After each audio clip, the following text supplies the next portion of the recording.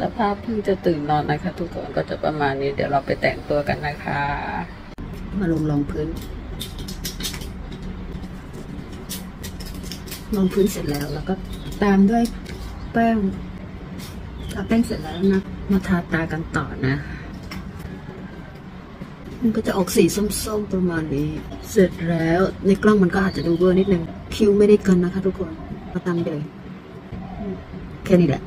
เขียนคิ้วไม่เป็นก็จะออกมาใหญ่ประมาณนี้ แก้มก็จะมาไฮไลท์ที่เปลือกตานะคะไฮไลท์ให้ทั่วทั้งหน้าหน้าจะได้เงาเมาเหมือนสาวเกาหลีแล้วก็จะมากรีดอายไลเนอร์กรีดอายไลเนอร์เสร็จแล้ว แล้วก็ตามด้วยมัสคาร่าสีเขียวติดทนกันน้ำกันเหงื่อได้ดีมาก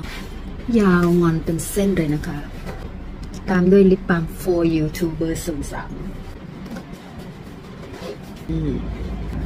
แต่งหน้าเสร็จแล้วลุคของวันนี้นะคะ เดี๋ยวเราไปใส่เสื้อผ้ากัน ชุดของเราที่จะใส่ไปเที่ยวนะคะ แล้วก็คู่กับรองเท้าบูทนี่ค่ะ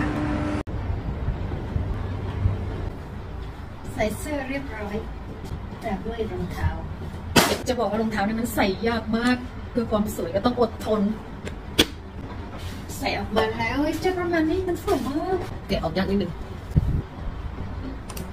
ประมาณนี้ เห็นไหม เป็นยังไงบ้างคะทุกคนลุคของวันนี้มันดีไหมก็ตามด้วยกระเป๋าคู่ใจนะคะแต่งตัวเสร็จแล้วนะคะ ทุกคนเก็บได้ที่ไม่มีนะคะ